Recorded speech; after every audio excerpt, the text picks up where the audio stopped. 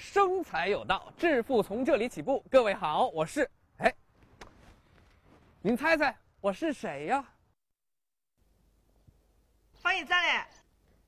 防疫站？行不行？我是万俊，连我的声都没认出来。哎，各位好，我现在呢是在山东的阳谷县。哎，说到这个地方，哎，您是不是有点印象呢？这样哈，跟您说句话，您肯定就知道了。就算真个油壶，老爷我也不怕。没错，这就是这武松打虎的地方景阳冈了。当然，今天到这儿来呢，还不是来打虎的。你看穿成这样哈，怎么也不像。不过，我有一个重要的任务，什么呢？哎，您跟我走，就知道了，走吧。阳谷县位于鲁西地区，因武松打虎而闻名。现在当地农业产业规模大，发展快，希望我们的主持人也能不虚此行。哎，你看，不就是养个猪吗？呃，你看我们之前也拍过很多这个养殖，也进过很多这个养殖基地哈，但真没有一家会像这样全副武装，里三层外三层，穿的这么严实的哈。哎，走了。万俊可不要不服气。这确实只是一座商品猪的养殖基地，但是来头可不小。二零零八年，他做过奥运会的新肉供应基地；二零一零年，他还为世博会提供过猪肉。这里可是国内响当当的生猪饲养基地呀！好，现在孟老板不在哈。哎呀，趁我不在，这里头太热了。哎呀，把衣服脱一脱吧。哎这里头真够热的呀。嗯。哎。王女你好，啊，孟老板你好，你好你好，我正说着呢，这里头太热了，我准备脱一件。那不行，你先忍一忍吧。啊，为什么？按照我们的防疫严格的要求来讲，你必须得这么穿。啊，必须得这么穿。对。孟宪壮，山东阳谷孟楼人士也，当地的乡亲们都亲切的叫他小壮。我们所在的这座景阳冈生猪繁育场就是他的了。如果我的话，嗯，可能。不，如果不这么穿的话，罚款是员工的一倍。为什么要这么严格呢？因为这个养猪场的防疫是第一位的。嗯。它首先注重的就是外界的一些细菌啊、病毒啊，防止带到里边交叉感染。啊。还有呢，就是猪身上的一些气味啊，还有一些一些空气或者什么，然后附吸附到你的衣服上，带出去也是不好。还这么讲究呢？哈，难怪你看这里三层外三层。那行呗，那既然您都来了，要不您带我参观参观您这儿？好，那就我带带你参观参观我的养猪场。嗯。哎，孟老板，听说您在这当地这个养猪的名头大，而且规模也很大哈。那您这规模到底有多大呀？嗯，在，呃，在下面，呃，王女你可能看不清楚，因为要转的话，可能要转四五个小时啊。这样您在上面就能看看到看得到。那我给你介介绍一下吧。这些灰色的房顶，还有这些红红色的房顶，一直到，呃，应该应该是一直一直很远的吧？啊，这一片的都是。啊，这全是您的这个规养猪场啊？对，这有多大面积啊？总占地是啊两百三十多亩。两百三十多亩？对。那这里头现在一共存栏多少猪了？存栏是两万四千多。两万四千头。二零一一年，孟县壮的养猪场年出栏生猪四万多头，固定资产七千多万。更令人惊奇的是，这里不但有现代化的圈舍，还有饲料加工厂、实验室、沼气发电站等四个厂区。猪原来可以这么养啊！正所谓耳听为虚，眼见为实。各位，你看这里真不愧是全国养猪的百强企业。而孟宪壮更是在今年的二月份，作为全国养殖业唯一的代表，走进了中南海，面对面的向中央领导汇报工作，提出建议。三十七岁。一直在家门口打拼的他，是怎样取得眼前的这些成就的呢？一路走下来，细心的人也许发现了，孟宪壮的腿脚似乎不太灵便。没错，五岁的时候他就因脊髓灰质炎而落下了残疾。因为残疾，他从小就承受着别人无法想象的痛苦。因为那时候上学还还拄个拄个拐杖，这个最最不愿就是在别人面前走路。就是就，其实别人也没人笑话，就是就觉得自己走路难看。五到十四岁的九年间，孟宪壮做过三次大的手术，在床上躺了一年多，沉重的心理压力让他最终选择了辍学。但是，一个残疾青年在相对封闭的农村里，又能有什么出路呢？父母说：“那那你就去，反正得学手艺。你暂时就在这个小卖部里边给人帮忙嘛。那个时候叫就是农村那个供销社，叫中心店。中心店。”孟宪壮在供销社里做了几年的店员，他为人勤恳诚实，深受村民的喜欢。但是随着年龄的增长，一件大事儿开始困扰着他。因为我身有残疾，然后可能还想将来要自己找到找到老婆。孟宪壮清楚，作为一个残疾人，要想获得爱情、组建家庭，没有自己的事业是不行的。那自己到底能干点什么呢？看到有篇报道，就是说，嗯，有个女大学生养猪，啊，一年赚了十几万的报道。然后我就想，哎呀，我说我我这一辈子也赚不了十几万。如果我有我一辈子有十几万，我说呃，老婆肯定找得上了。现实就是这么残酷，找老婆成了孟宪壮养猪的直接动力。在家人和乡亲们的支持下，他东拼西凑了五万块钱，走上了漫长而艰辛的养猪之路。第一次盖好了九间猪舍，然后盖了几间小简易的几间仓库嘛。我记得就剩了不多钱，就买了十二十多头猪，二十多头就是在在集市上买了二十多头那个猪崽儿，我们开始养。一个二十出头的残疾青年，靠着一己之力搞基建、买种苗、做繁育，他就没有想到这其中的困难吗？那这接下来他又是如何做的呢？孟宪壮很清楚自己身体的劣势，他盛情邀请了一位玩伴和自己一起做，收入平分。然而，一切真的能如人所愿吗？因为我建猪场的时候行情好，等买了猪以后再再想卖的时候，那猪价行情不好。出师不利，孟宪壮压力很大，但是他却在创业中收获了爱情，有了爱人的支持，他决定坚持下去。然而，生猪市场的残酷远远超过了他的预计。那个时候，我记得喂出猪来，成本就得和呃三块零五分，猪才卖多少钱？就卖两块三，养一斤猪亏七毛，养一斤猪亏七毛，一头猪亏一百多。低迷的行情居然延续到了一九九八年。而且都说祸不单行，也是在这一年，他还真是遭受了第二波打击。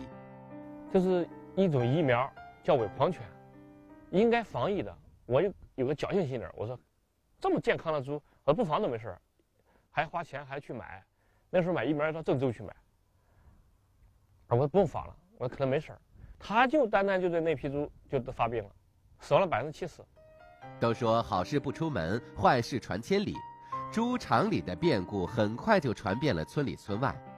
死了两百多头猪，那个老百姓就是说村民就开始有的跟我要钱，外边的风言风语就起来了，说小镇上猪场亏完了，哎呀，那个猪都死光了。我就挨家挨户的给人家说，我反正吧，利息吧我肯定要给，呃，这个呃，慢慢的你再给我一段时间，啊，这样子大家还是比较对我应该说是比较信任的。凭借着长期积累的信誉，孟宪壮暂时缓解了还债的压力。但是，比死猪更让人头疼的是那些饭量惊人的活猪，他们的口粮怎么办呢？呃，夏天没有钱买饲料，我们两个就是上了班之后，就我拿镰刀或者拿什么，我们两个去割草。割完草之后，把它剁碎了，把那个草切碎了之后，那个料哈，精料就是那个玉米面撒上一些，撒上一些，然后拌拌给给猪吃。孟宪壮坚信“留得青山在，不怕没柴烧”，只要能再坚持，猪肉的行情总会有翻身的时候。可是这夏天里有野草，到了冬天万物凋零，还能给猪吃什么呢？那个老百姓那个地里，这个豆角秧啊、地瓜秧都不要，都扔在地里，我们就去去那拉。早晨四五点钟就去，然后拉完之后，哎，就也就这个时间嘛，四五点、三四点钟，晚上呃、下午、中午的回来了之后，我们粉碎，粉碎了之后用水泡。泡了之后呢，再用这个哎撒上点就是那个玉米面精料，然后来喂猪，坚持了一年。不得不佩服孟宪壮的坚持和机智。一旦行情不好，他就采用精料和粗饲料相搭配的方法降低成本，但坚持保种育苗绝不放弃。他的这些做法，则在接下来的十几年中屡试不爽，成为了度过危机的法宝之一。九六年到二零零六年，最少要盖了六次。就是就是五六次注册，就一点一点的盖。养猪的头十年虽然困难重重，但孟宪壮稳扎稳打，逐步扩大着规模。他还有一个法宝，那就是对知识和技术的重视。初中没毕业的他，因为缺少知识，吃了太多的苦头。就那年呢，死了猪之后呢，买的那十六头母猪，就两两头发情的，那十四头都不发情，发情了也配不上种，就不会搞。要扩大规模，必须有自己的种猪繁育基地，但是技术上的门槛让孟宪壮头疼不已。除了自己加强学习，他还使出了另一样杀手锏。他老家是河南信阳的，一直在规模化养猪场工作。那个时候是两千八，然后我我说三千多，我给他三千多，三千多，然后在那些时候，在那个年代，三千多能找五个员工。这里说的他是孟宪壮从外地高薪招揽的技术厂长李厂长。孟宪壮渴求技术。更难能可贵的是尊重技术，尊重技术人员。你就生产厂长，所有的技术，你说怎么干就怎么干，啊，你说哪儿不行咱改哪儿。你说建制度，那个时候零二年之前我没制度，啊，你随随便进随便出入，随便谁谁谁干什么，哪天就说说就没开过会。从二零零二年起，孟宪壮建立起了自己的技术队伍，并不断与外界加强学习交流，他的猪也越养越好了。孟老板。我听说这个猪哈，一般来说它身上这个瘦肉越多，应该是越好卖哈。我看您这猪，你看特别像这些猪，身上感觉没有什么肥肉，长得都很结实哈。您这是怎么做到的？它这个猪的瘦肉率比起来高吗？比其他的猪？就是刚才我们在种猪场看到那些猪呢，然后跟它的猪妈妈交配呢，然后它生出来就是五元杂交猪。这个五元杂交猪呢，它本身改越改良呢，就是瘦肉率高，然后它的皮猪皮。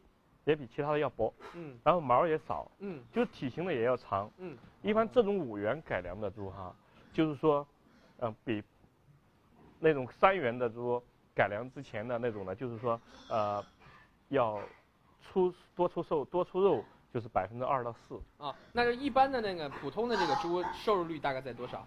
嗯，那个可能。不到六十吧，那咱们这种呢？它都要到六十五左右。六十五左右哈。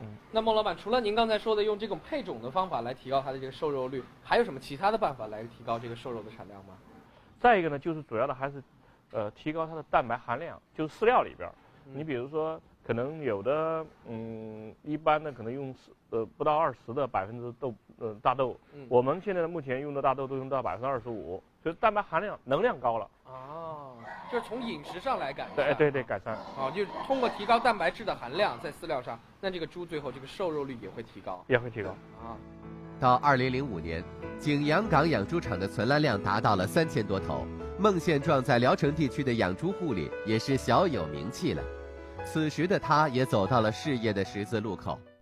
第一次养猪，养了四个月才出栏，才卖猪。哎呀，我说我什么时候一个月卖这些个？就就就好了。当我一个月一卖这么多的时候，我一个星期能卖六十头猪，我就不干了，不干了。我说反正就不再扩大规模了，也不是不干了，就不不再，就就就能赚上一家人吃喝花了。我记得是零零四年还是零零六年，已经达到了那个时候。此时的孟宪壮已经是吃喝不愁了。回想创业时的艰辛，他产生了享清福的念头。确实，作为一个残疾人，能有这样的成就也可以知足了。但是，生猪饲养已经发展成为了一个高度市场化的产物，价格的波动也越来越剧烈。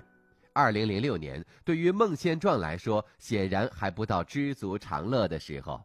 零六年那年是生猪喂起来是也是四块多，卖三块多，呃，也不赚钱，也是供大于求，就是猪多，市场上消费不了。那个时候，二零零六年，孟宪壮的养猪之路似乎是走到了死胡同，猪肉价格暴跌，成本上涨，资金链断裂。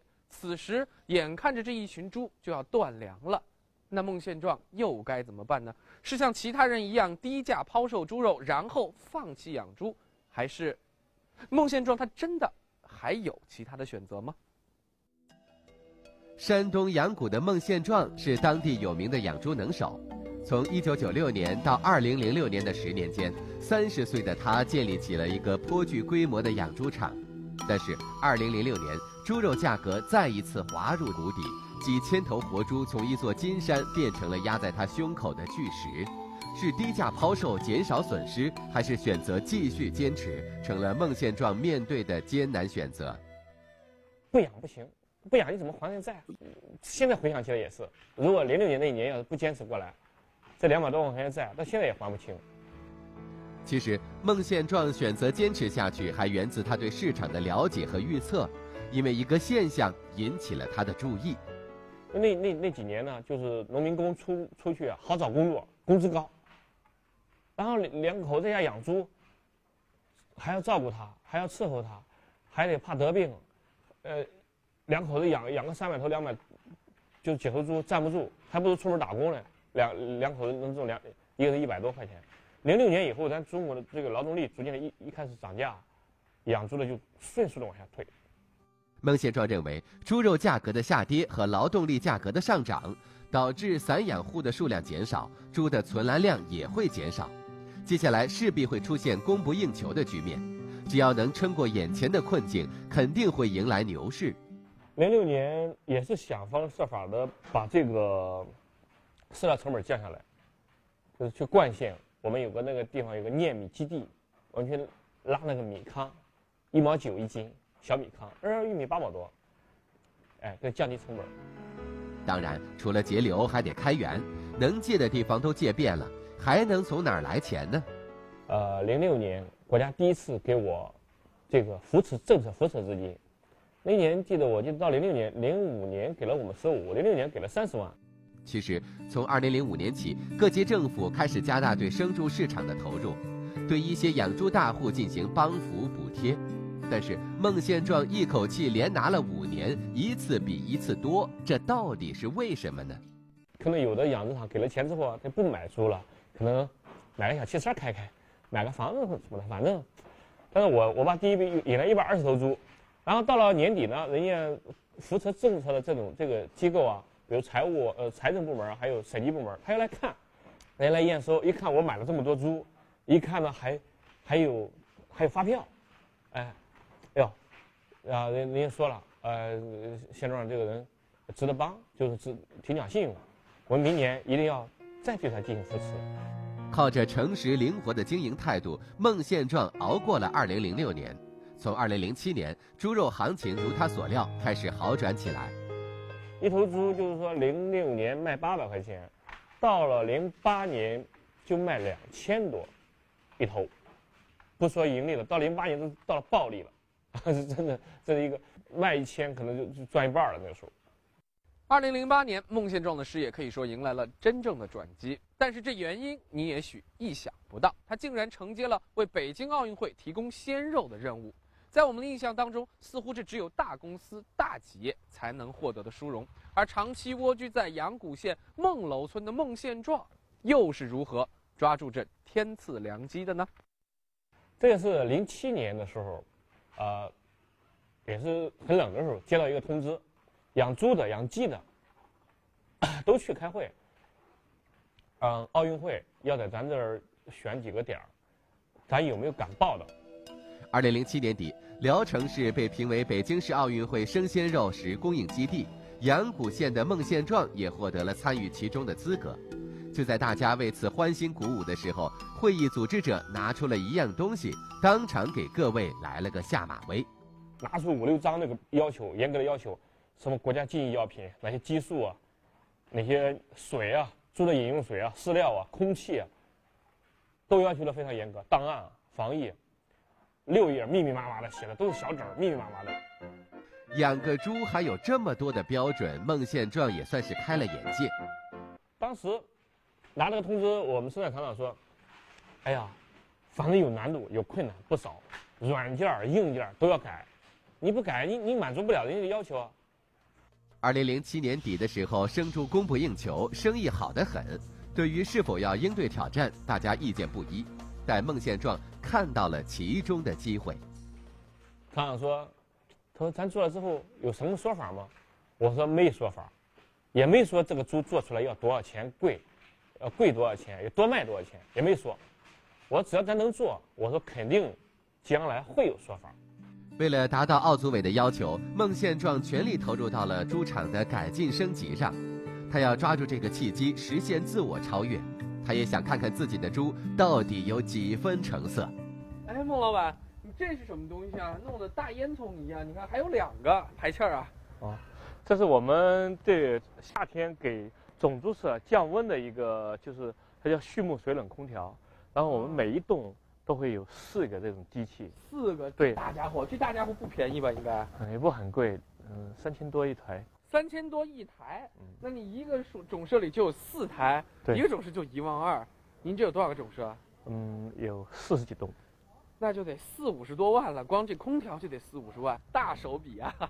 那就夏天用了它会很凉快。嗯，对，它里边的种猪舍的要求就是夏天不要超过二十六度啊，就是温度可控嘛。对，那那个又是什么呢？你看，那个是我们呃冬天给种猪舍升温的一个水暖。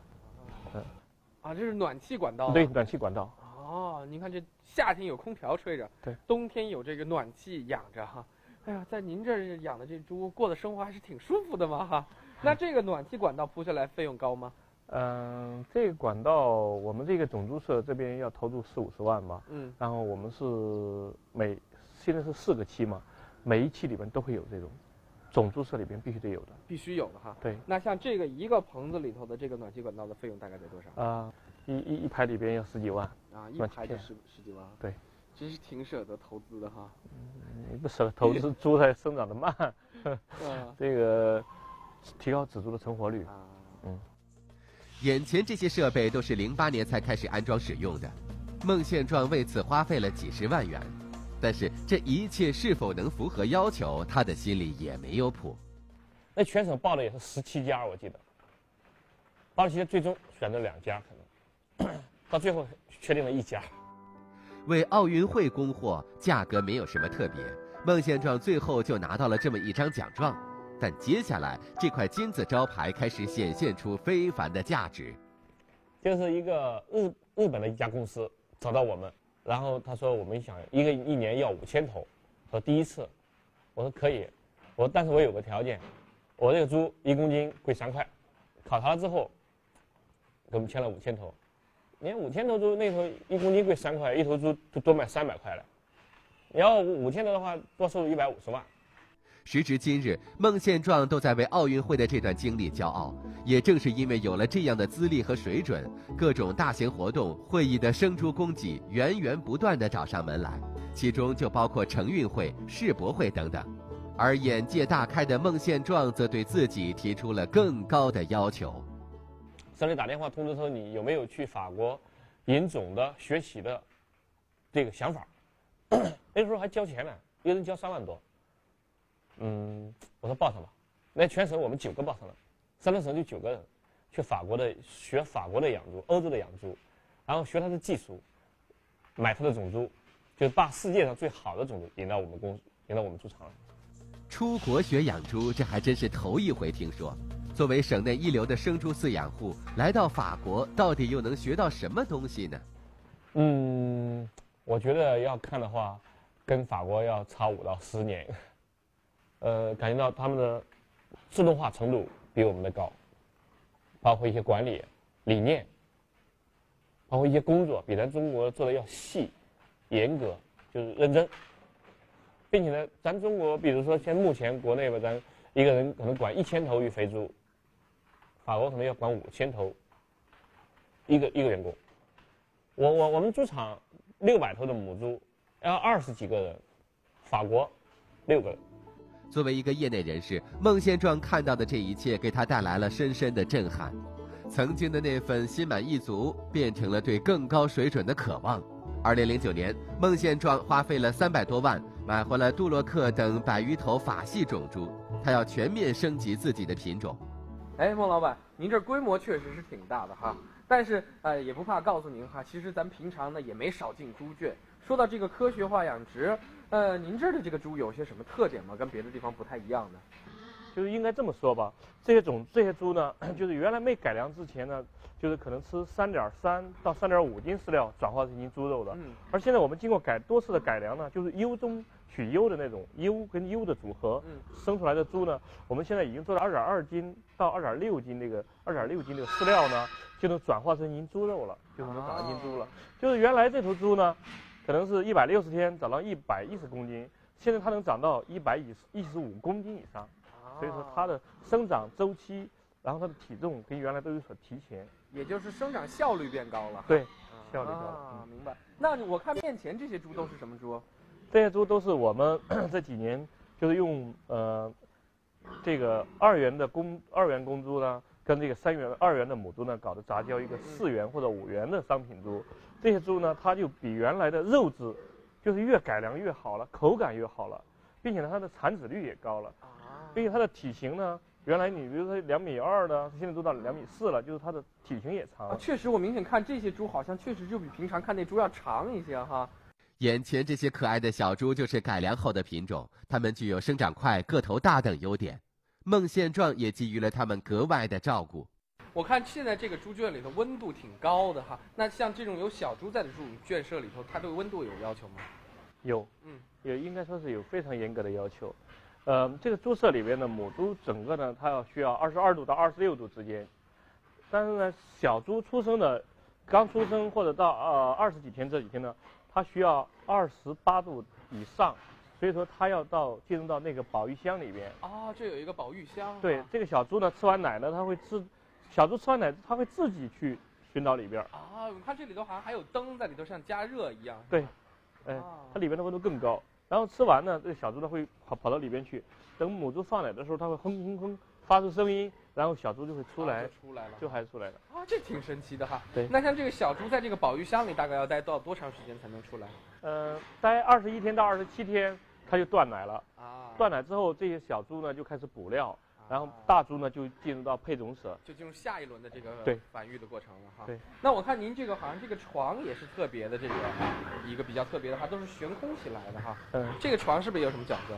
这个床就是说，因为养猪嘛，它养讲究的一个是空气湿度，嗯，就是说，呃，再一个呢就是干净嘛。那你要立地的，它会有一个比较潮，一夏天，嗯，然后呢它有粪便拉拉到水啊尿啊，它这样在下面都是流掉了。然后它始终是保持一个干燥的，就是减少仔猪的拉稀腹泻。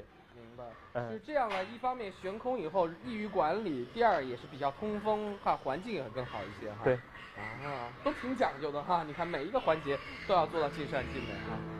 像刚才孟先壮讲述的这些养猪知识，他每年都要不厌其烦地讲上很多次，因为他还有一个身份——阳谷景阳岗养猪合作社的社长。我把我的养猪。经验、技术，我我不让你走弯路了。我走过的弯路，我交过的学费，我肯定不让你再去交。品种、技术，这是我给大家共享的。然后呢，就是说，还有呢，有的你还听不懂，你就可以派你的儿子啊、你你的外甥啊，或者你的小孩儿，或者你弟弟到我们的养猪场，免费的学技术。那个时候我就觉得，当我帮大家的时候，付出了一点的时候，哎，我也得到一份快乐，我很欣慰，得到大家的尊重。能力越大，责任越大。随着孟宪壮养猪事业的发展，他没有忘记身边的父老乡亲。二零零五年，他就和几个养殖大户一起开办了合作社，对大家进行集体培训。几年下来，他在资料、会议、培训上的费用达到了十几万，但从没有收过一分钱。在这个技术服务方面，哎，他可以怎么讲？提前给咱这个参加。培训的会上，给他提出来讲，在一个疾病的防控这方面。最近猪肉市场的行情不错，不少人心头一热。对此，孟宪壮有很多话想说。我先把这个二百头养好了，我才能管好两千头。这个两千头我养好了，我才能管好两万头。如果你连两百头管不好，你不可能养两千头。所以说，我我不建议大家一盲目我就上几千头、几万头，是非常非常危险的。这是一个，再一个呢，就是你选择了这一行，你必须选好，做好，你未来一两年，这个猪行情不好的时候，你也有自己的有想法、有办法度过它。能怎么样使这个猪等到市场行情的时候出来，你要做一下调整。如果你你没有这个预测，我建议你不要去养猪。对于中小型养殖户，孟宪壮给出了谨慎经营的忠告。那在自己的发展规划上，他又是怎么做的呢？